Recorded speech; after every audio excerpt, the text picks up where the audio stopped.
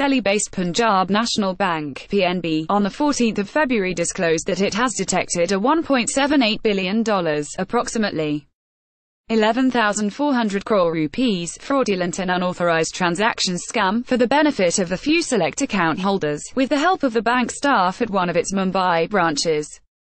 In the bank these transactions are contingent in nature and liability arising out of these on the bank shall be decided based on the law and genuineness of the underlying transactions, the bank said, adding it had reported the matter to the investigating agencies, read the CBI.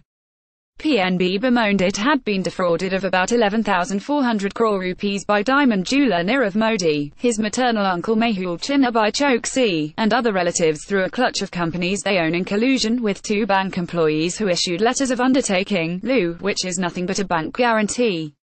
The LU was relied upon by overseas branches of Axis Bank, Allahabad Bank and Union Bank of India to make payments for diamond imports from foreign suppliers. The fraud involving the dishonest PNB Mumbai employees joyously issuing the LUs without proper authorization for illegitimate favors from Nirav Modi, Choksi and other complicit in the fraud. These other banks are gunning for payments by PNB. And they are right because an LU holder can hold the LU issuer liable. Indeed that is the essence of LU lock i.e.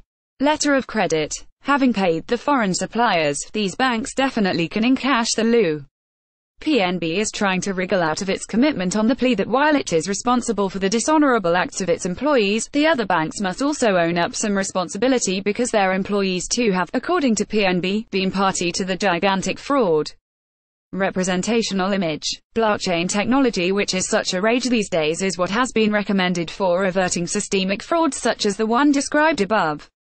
Though it is originally associated with a cryptocurrency Bitcoin, blockchain technology is now finding acceptance right across the financial world as well as in the world of record keeping. Andhra Pradesh government has already adopted it to maintain land records.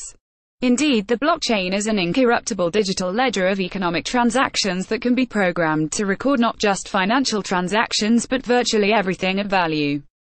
Information held on a blockchain exists as a shared, and continually reconciled, database. This is a way of using the network that has obvious benefits. Blockchain database isn't stored in any single location, meaning the records it keeps are truly public and easily verifiable. No centralized version of this information exists for AR to corrupt. Hosted by millions of computers simultaneously, its data is accessible to anyone on the internet. The Indian banking industry needs to embrace blockchain technology quickly. PNB-type frauds could have been easily avoided had it been in place. The corrupt PNB officials couldn't have introduced a fraudulent and unauthorized LU into the system because it would have caught the attention of the higher-ups of PNB sooner than later. The fraud would have shown up the same day, and PNB could have immediately alerted the entire banking community.